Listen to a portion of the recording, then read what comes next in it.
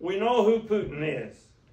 I want you to watch a documentary on Russell Williams, Colonel in the Canadian Air Force.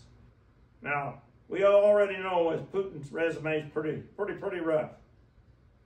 Russell Williams' resume is squeaky clean.